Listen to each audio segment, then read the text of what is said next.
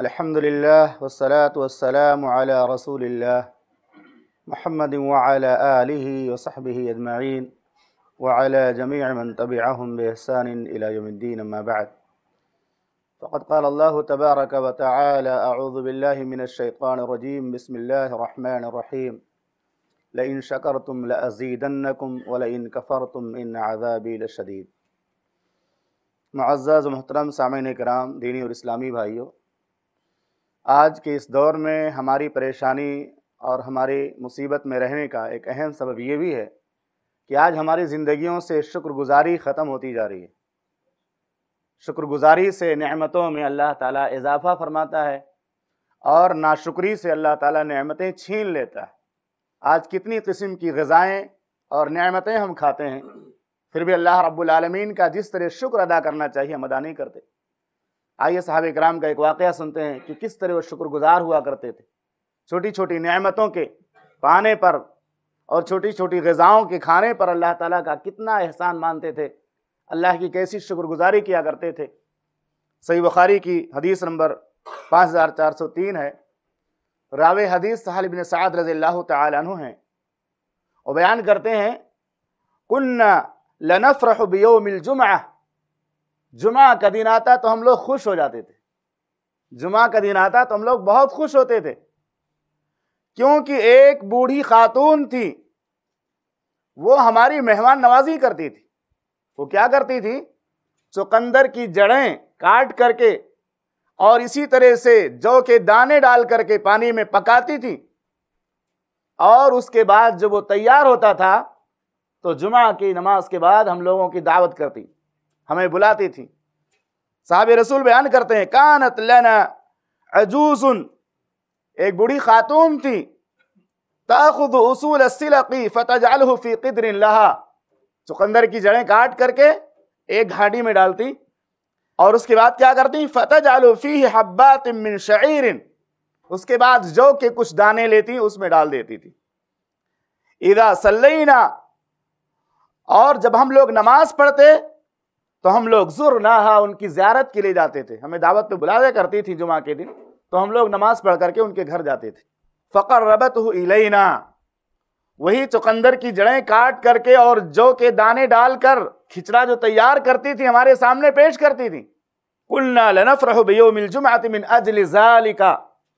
तंगदस्ती का ये आलम था कि ये जो गज़ा हमें मिलती थी, चुकंदर और जौ के दानों से मिलाकर जो खिचड़ा वो तैयार करती थी बुज़ुर्ग खातून, उसके इंतज़ार में रहते थे हम लोग कि अब जुमा का दिन आया, अब खाने को मिलेगा। क्या खाने को मिलेगा? चुकंदर की जड़ों और जौ के दानों में मिला हुआ खिचड़ा जो तैयार किया गया। अल्लाह अकबर। उमा कुन्ना नतगद्दा वला नकीलु इल्ला बाद यौमिल जुमाती साहब कराम बयान फरमाते हैं कि साहब कराम का तरीका यह था कि जब जुमा का दिन आता तो हम लोग जुमा के बाद ही खाना खाते थे। जुमा की नमाज़ से फरागत के बाद खाना खाते, फिर कैलुला किया करते थे। और इसमें एक अच्छाई भी है कि आदमी को नींद नहीं आएगी, आदमी खाना खाने के बाद खुतबे जुमा सुनने के लिए आएगा तो नींद उसको आएगी, सुस्त रहेगा। तो साहब इकराम जुमा की नमाज़ से फारिग होने के बाद खाना खाया करते थे, उसके बाद कैलुला किया करते थे। साहब रसूल कसम खा करके बयान करते हैं, वल्लाहि माफ़ी शहमुन वला वदकुन। अल्लाह की कसम उस गजा में ना चर्बी होती और ना घी होता था। इसके बावजूद हम लोग इतनी खुशी से खाते थे और जुमा के दिन का इंतज़ार किया करते थे। यह है साहब इक्राम की शुक्रगुजारी। हिजरत मदीना का जो इब्तदाई दौर है, ये उस दौर का वाक़ है। जब खाने पीने की तंगी थी, लोग मुश्किल हालात से गुजर रहे थे, ऐसे मौके पर उस बूढ़ी खातून की मेहमान नवाजी से साहब कराम बहुत खुश होते थे। और उसके लिए जुमा के दिन का इंतज़ार करते थे। जुमा का दिन आएगा तो ये खाने को मिलेगा।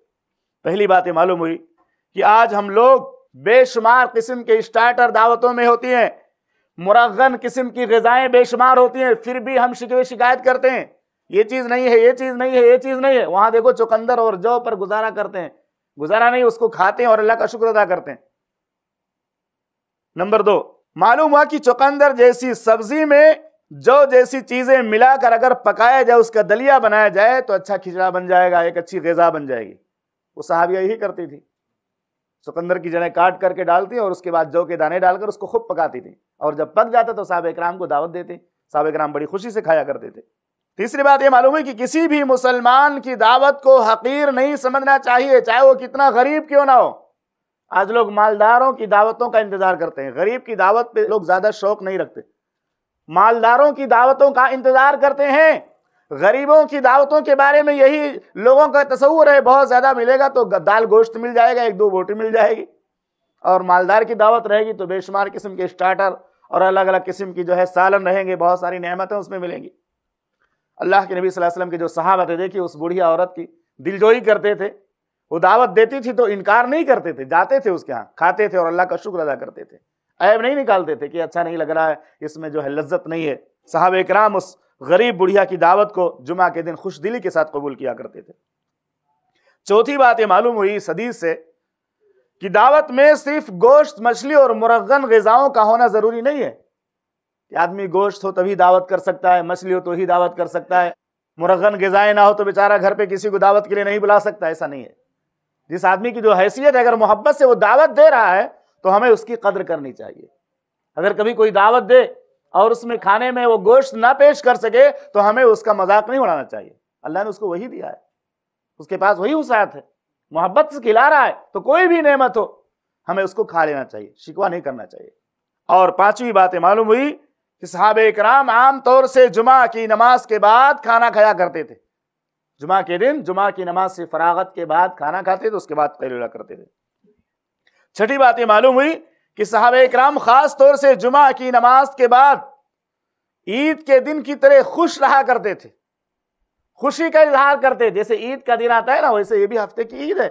जुमा के दिन खुशी का इजहार किया करते थे और कुछ मीठी गजाएँ और लज्जत वाली गजाएँ खाते थे, जो उनको मैसर होता था। जैसे हम लोग सवैया वगैरह खाते हैं या इस तरह को, वो चीज़ जो हमको अच्छी लगती है तो जुमा के दिन इस तरह वो चीज़ें खाते थे और खुश रहते थे, क्योंकि जुमा भी अल्लाह ताला की एक नियामत है। सातवीं बात मालूम हुई कि पहले ज़माने की मुस्लिम जो बूढ़ी खातन हुआ करती थी, वो मेहमान नवाजी की बड़े शौकीन हुआ करती थी। मेहमान नवाजी का बड़ा शौक उनको हुआ करता था। घरों में बुज़ुर्गों को वलमा को, इसी तरह से तलबा को बुलाकर वो घरों में दावतें खिलाती थी, जो उनके पास मैसर होता था। और इसी तरह से उन्हें पकाने का भी बेहतरीन हुनर आता था। अच्छी गजाएँ पकाने का उनको ढंग आता था, लेकिन जैसे जैसे ज़माना मशीनरी हो रहा है और नई नई ईजादात आ रही हैं, ये क्वालिटी ख़त्म होती जा रही है। उसमें किसी तरह की कोई चीज़ डालते हैं, लेकिन वो पहले जैसी लज्जत खानों में नहीं आ रही है, क्योंकि अक्सर चीज़ें सब डुप्लिकेट और जाली होती जा रही हैं। तो ये सात बातें इससे मालूम हुई। अल्लाह से दुआ है कि रब्बुल आलमीन मुसलमानों को जो भी नेमत तूने दी है, उसे खाकर अल्लाह रब्बुल आलमीन तो हमें शुक्रगुजारी की तोफ़ी अदा फरमा। हमें नेमतों की नाशुक्री से बचा, हमारी नेमतों में इजाफा फरमा और ईमान के साथ मौत नसीब फरमा अमीन वसल करीम। असल वरहमल वर्क ऐसे ही फ़ायदेमंद इस्लामिक वीडियोस देखने और मनहज सलफ़ पर किताब सुन्नत की तालीमत को आम करने में हमारा ताउन करें, ताकि आपके लिए ज़रिया नजात, जन्नत के हसूल का सबब, साथ ही माल में बरकत व इजाफे का ज़रिया भी बने। आमीन। जजाकल्ला खैरन।